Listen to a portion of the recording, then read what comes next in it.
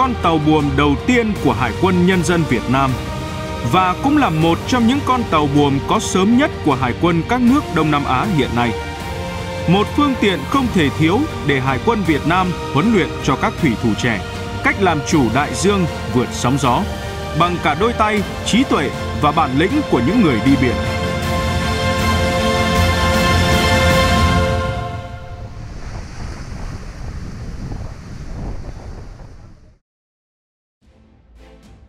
Tàu buồm xuất hiện từ rất sớm trong nền văn minh nhân loại.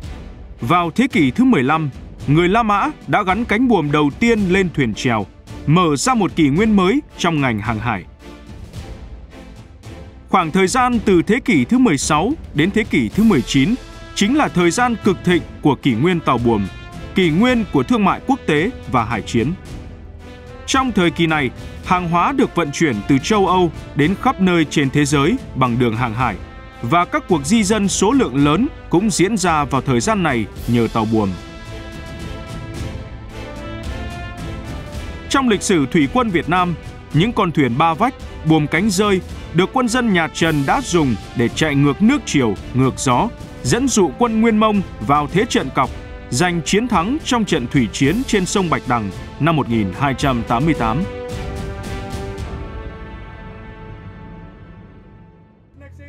Hiện nay trên thế giới, có rất nhiều tàu buồm huấn luyện trong biên chế chính thức của hải quân các nước. Thời gian huấn luyện trên tàu buồm là khóa học không thể thiếu đối với bất kỳ người lính hải quân nào.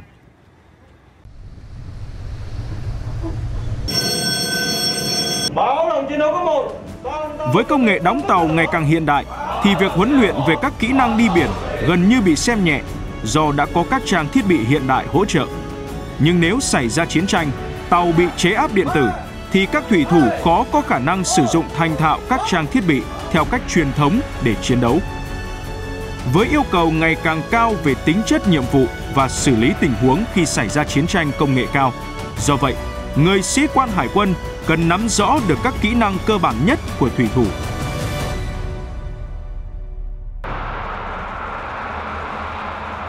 Như vậy, đối với Hải quân Nhân dân Việt Nam, việc đầu tư biên chế những trang thiết bị khí tài mới phục vụ huấn luyện vừa hiện đại kết hợp với truyền thống là thực sự cấp thiết. Một trong những trang bị đó là tàu buồm.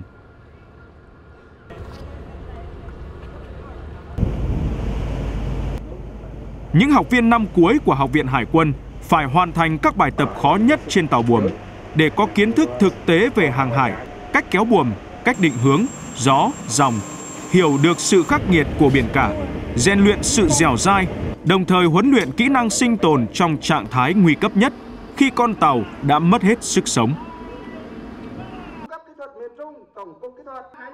Ngày 27 tháng 1 năm 2016, con tàu buồm đầu tiên của Hải quân Nhân dân Việt Nam được đưa về nước theo hợp đồng đóng mới tại Ba Lan. Lễ thượng cờ được tổ chức vào ngày 30 tháng 3 năm 2016. Con tàu mang tên Lê Quý Đôn, số hiệu 286, được đánh giá là loại tàu buồm hiện đại của thế giới vào thời điểm đó. Có thể hoạt động được trong mọi điều kiện thời tiết, giúp Hải quân Việt Nam thực hiện được các nhiệm vụ huấn luyện, giao lưu quốc tế và bảo vệ chủ quyền biển đảo Tổ quốc. Tàu buồm Lê Quý Đôn dài 67 m, rộng 10 m, mớn nước 3,6 đến 5,75 m, lượng giãn nước 857 tấn. Buồm và cột buồm là bộ phận đặc trưng nhất của thuyền buồm. Tàu buồm 286 Lê Quý Đôn có 3 cột buồm kim loại với độ cao mỗi cột khoảng 42 mét. Mỗi cột buồm có 5 cành buồm. Tàu có 21 lá buồm, gồm 9 buồm tam giác, 10 buồm vuông và 2 buồm đặc biệt hay còn gọi là buồm lái. Cánh buồm nhỏ nhất có diện tích 30 mét vuông, cánh lớn nhất có diện tích 120 mét vuông với 21 cánh, tổng diện tích các cánh buồm lên đến 1.400 m2.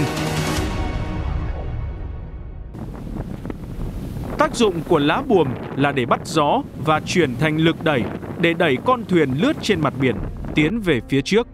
Vải buồm là loại vải có đặc tính không thấm nước, bền chắc chịu được sự khắc nghiệt của thời tiết.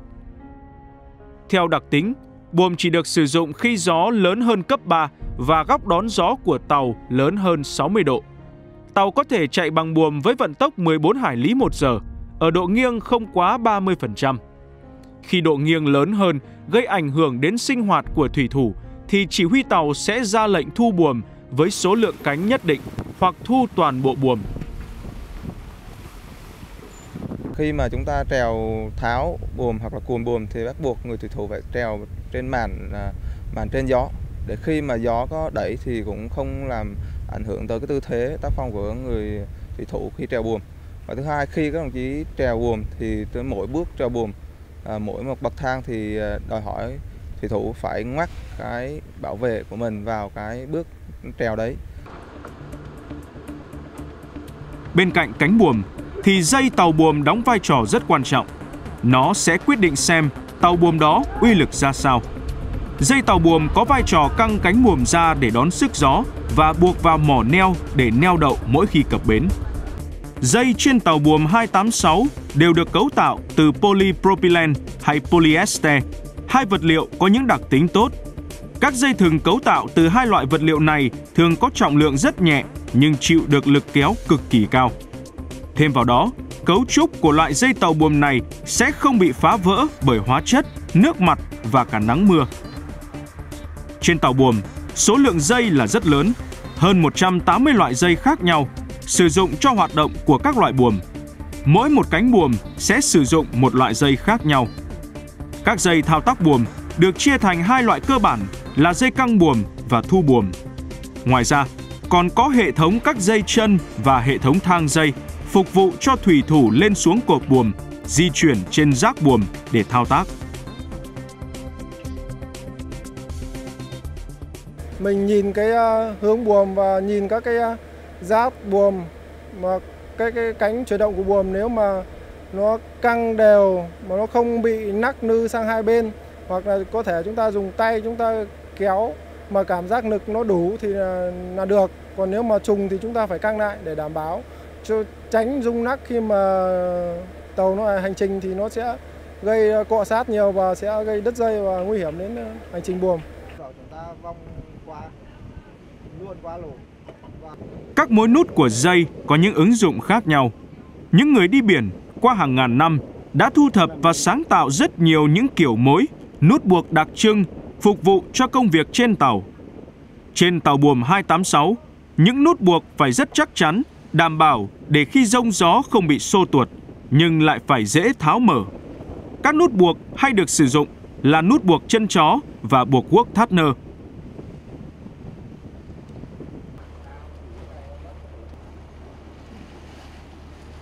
Đối với uh, tất cả các loại tàu thì uh, cơ bản về thủy nghiệp cơ bản sẽ học hết 21 nút buộc. Nhưng uh, đối với tàu buồm thì uh, ngoài những nút buộc cơ bản đấy thì những nút hay dùng nhất là nút thắt cổ chó hay còn nút định hướng và nút ghế đơn.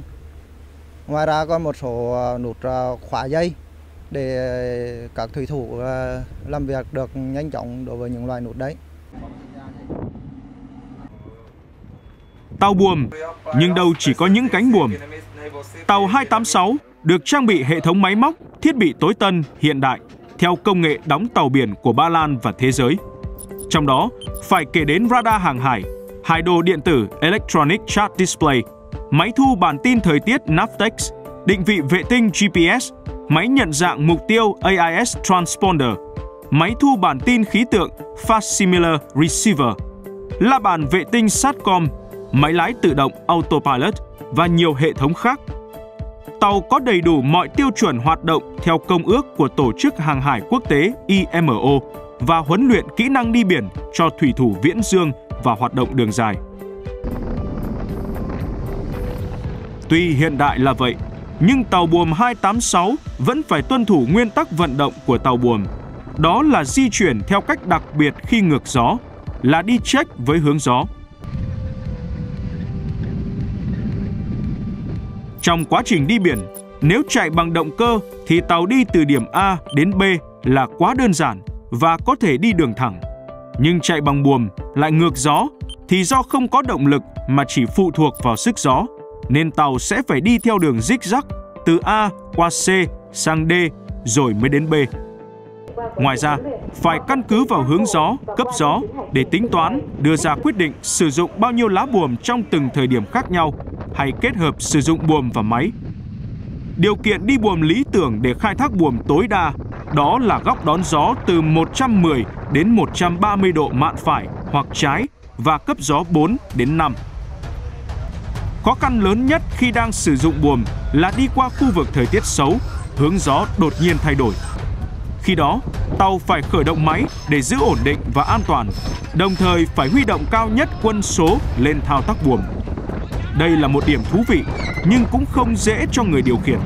Vì thế mà những người cầm lái phải hiểu rõ nguyên lý, cũng như cần xác định chính xác hướng gió cũng như góc chỉnh buồm, làm sao cho chuẩn để đưa tàu tiến lên.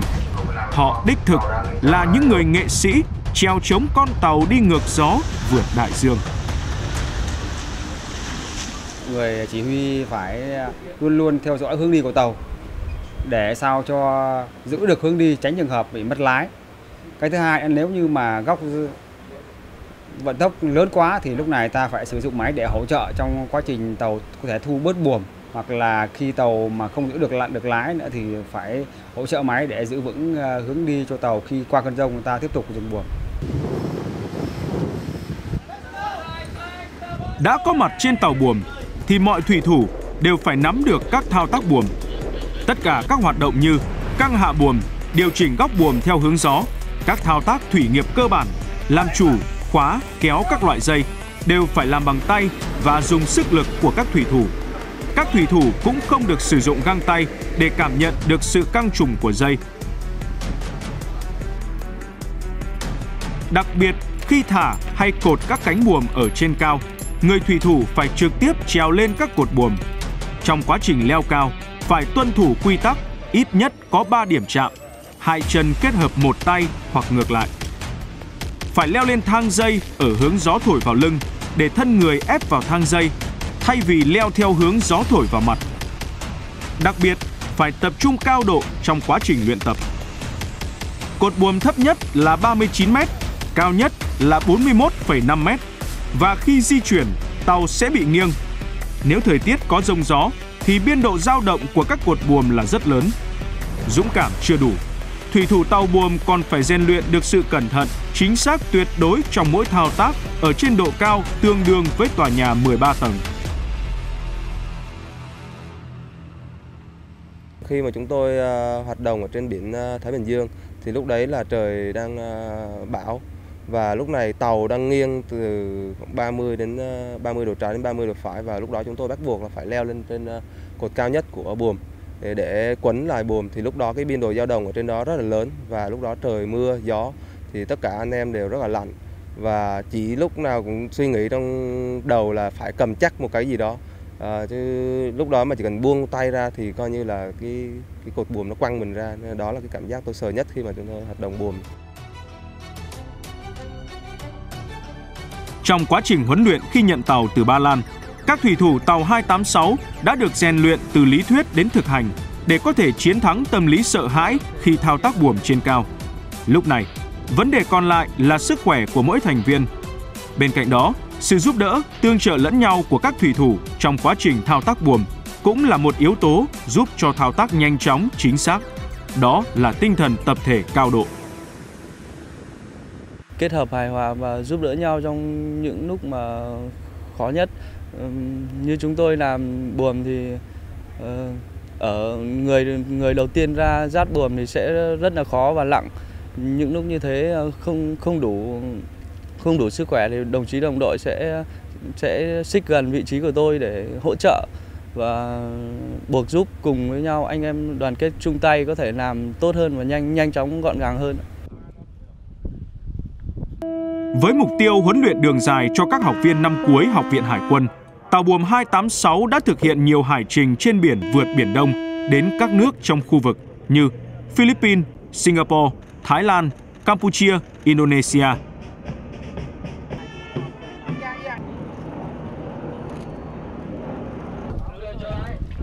Biển cả chính là giảng đường sát thực tế nhất. Quá trình đi biển đường dài kết hợp với huấn luyện các bài học thực tế trong môi trường khắc nghiệt là bài kiểm tra then chốt để học viên ứng dụng hết những kiến thức đã học. Như trong bài tập thao tác buồm này, mỗi cánh buồm để điều khiển được phải cần từ 1 đến 10 thủy thủ tùy theo từng loại dây. Do đó, mỗi cánh buồm cần một nhóm người nhất định để cùng thao tác, thực hiện đồng thời dưới sự chỉ huy của phó thuyền trưởng. Các học viên sẽ được thực hành căng hạ buồm vuông và buồm tam giác, các thao tác thủy nghiệp cơ bản, làm chủ, khóa, kéo các loại dây. Khác với thực hành trong vịnh, ngoài khơi gió và sóng làm cho tàu lắc lư không ổn định, nên thao tác buồm rất khó khăn.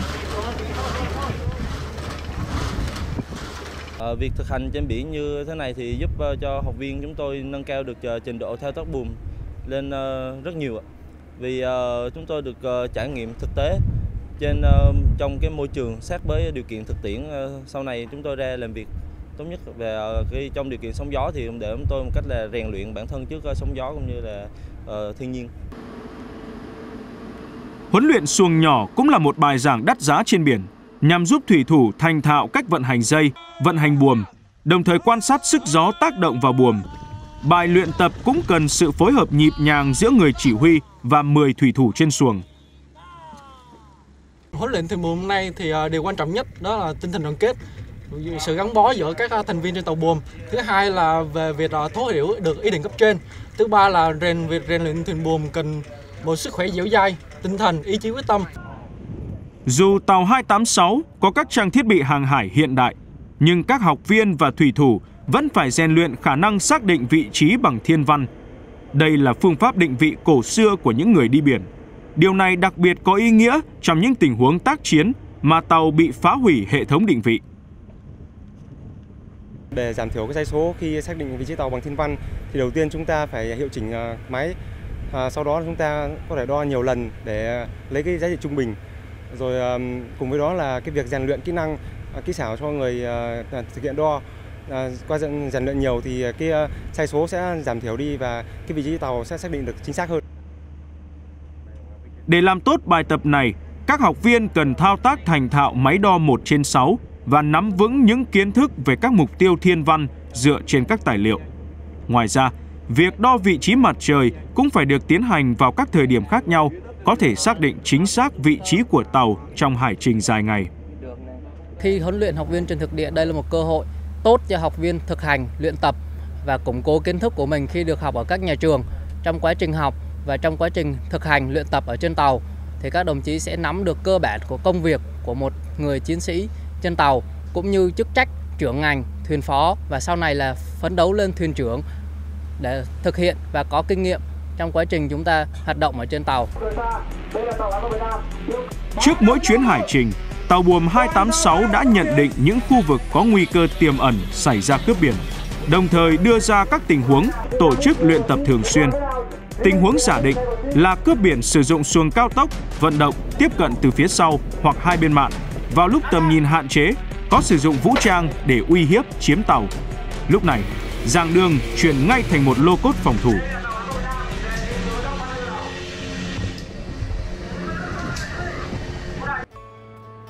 Bên cạnh việc học chuyên môn, rèn luyện thể lực, học viên hải quân còn được tìm hiểu và trải nghiệm những nghi thức, phong tục của người đi biển. Đây là trang phục đặc biệt để chuẩn bị cho một nghi lễ có từ lâu đời dành cho thủy thủ. Đó là lễ vượt đường xích đạo mà người châu Âu gọi là Line Crossing Ceremony. Ờ, và đây là một phong tục không thể thiếu của tất cả những cái thủy thủ, những cái người mà đi biển khi đi được qua đường xích đạo. Và đây là một cái phong tục rất là đẹp để cho những con tàu, những thủy thủ đi qua đường xích đạo được cái may mắn và chuẩn bị cái buổi lễ đi qua đường xích đạo như thế này thì à, cán bộ, kiếp tàu, học viên và tất cả anh em ở trên tàu đã chuẩn bị một cách rất là công phu, tỉ mỉ và cũng tương đối là lâu. Thực sự đây sẽ là một cái kỷ niệm mà vô cùng đáng nhớ và tôi sẽ không bao giờ quên được vì cái à, chuyến hải trình này là thực sự là lần đầu tiên tôi được à, qua đi một chuyến hải trình dài đến như vậy. Huấn luyện trên tàu buồm là quá trình đầy thử thách để phát triển, rèn luyện khả năng chuyên môn, bản lĩnh của mỗi thủy thủ và học viên hải quân. Nhưng học viên sẽ học cách tương tác với các thành viên khác trong đội hình để điều khiển con tàu, giúp thúc đẩy khả năng tự nhận thức và sự tự tin ở mỗi người. Bên cạnh đó là rèn luyện sức khỏe và bản lĩnh của người sĩ quan, dám đương đầu với thiên nhiên, chế ngự sự sợ hãi, vượt lên chính mình dù là giữa rông tố điên cuồng của đại dương.